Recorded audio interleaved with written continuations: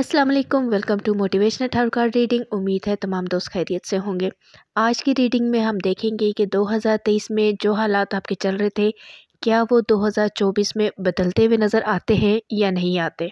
Reading शुरू करते हैं और इससे पहले अगर आपने मेरा यूट्यूब चैनल सब्सक्राइब नहीं किया तो चैनल को सब्सक्राइब कर दीजिए और बेल आइकन को प्रेस कर दीजिए ताकि आपको मेरी तमाम वीडियोस मिलती रहे। अब यहाँ पे आपने करना ये है कि अपने किसी भी स्टक पॉइंट के बारे में आपने थोड़ी देर के लिए सोचना है, अपने माइंड में वो बात लेके आनी है। हो सकता है कि आपके सवाल के जवाब का यहीं पर कोई ना कोई सोलूशन निकल आए या फिर आपने कोई ऐसा काम किया हो, नो कॉन्टैक्ट में हो या रिलेशन की तरफ़ से आप परेशान हो तो आपको यहाँ पर वो जवाब मिल जाए या आपका स्टक पॉइंट क्लियर हो जाए। कुछ लोग यहाँ पे अपने पार्टनर की फीलिंग्स के बारे में सोच रहे होंगे, कुछ अपने रिलेशन के बारे में सोच रहे होंगे।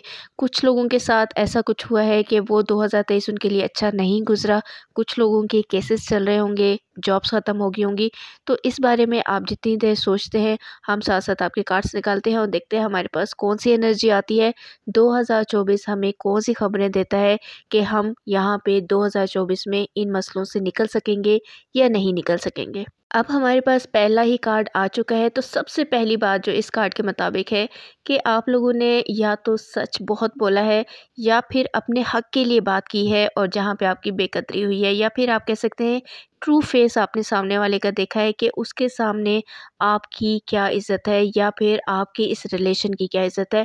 या फिर इस तरह से भी कह सकते हैं कि आपकी जितनी भी केयर थी, उसको फॉर ग्रांटेड लिया गया है। इसके बाद अगर एक और बात यहाँ पे देखी जाए तो लोगों की पहचान हुई है इस साल 2023 में आपको। ट्रस्ट भी टूटा है आप में से किसी लोगों का और ये बात आप किसी से बात भी नहीं कर पा रहे या फिर जो अजियत आप देख चुके हैं वो किसी से बयान नहीं कर पा रहे।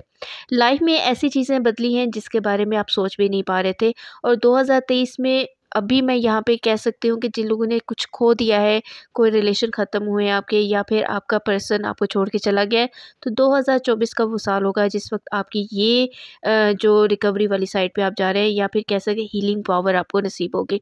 कुछ लोगों के लिए मैं ये ज़रूर कहूँगी कि आपने अपना ख्याल लाजमी रखना है। इस तरह से कह रही हूँ कि किसी इंसान के लिए या किसी रिलेशन के लिए आपने ख़ुद को ख़त्म करके रख दिया है। आपकी वो शख्सियत नहीं रही जो कभी होती थी। हर बार आपको लोगों ने गिराया, लेकिन यहाँ पे आप लाइफ को फिर से शुरू करने की एक सोच आप में फिर से पैदा हुई है और ये बहुत अच्छी सोच है। 2024 में जिनके कोर्ट केसेस चल रहे हैं, उनके हक में फ़ैसले आएँगे और अगर आप जॉब स्विच करना के बारे में अभी तक सोच रहे हैं तो लाजमी सोच लें, ये आपके लिए बेहतरीन फ़ैसला होगा।